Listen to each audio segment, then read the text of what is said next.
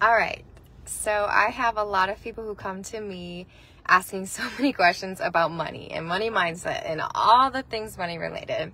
So I wanted to hop on today and just plant a little seed in your awareness around the energy you have when you are spending money.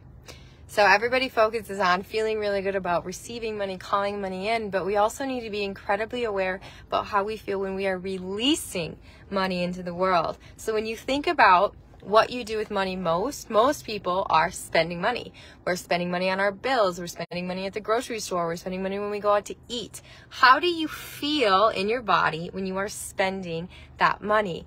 That is incredibly, incredibly important because if you don't feel good releasing money, then that's the energy that you're putting into money. So then limiting that money to return to you. So something that I encourage you to do is to spend money with gratitude, to pay your bills with gratitude. When you, you go to check out at the grocery store, take a moment to be grateful for all of this abundance coming into your life instead of feeling that kind of irritation or fear or whatever could come up around having to spend money on your groceries. Same thing when you're going out to eat. Same thing when you're paying your bills at the end of the month. It's like, oh, I'm so grateful that I have lights, that I have power, that I have electricity. I'm so grateful that I have this home over my head, that I can pay rent or mortgage or whatever it is.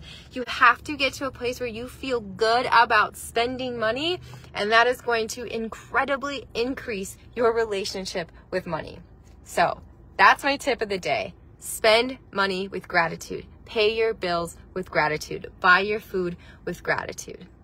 Gratitude, gratitude, gratitude. Come back to being grateful for what you are receiving when you release that money instead of being fearful of that money going. Be grateful of all that you are getting in that release of that money.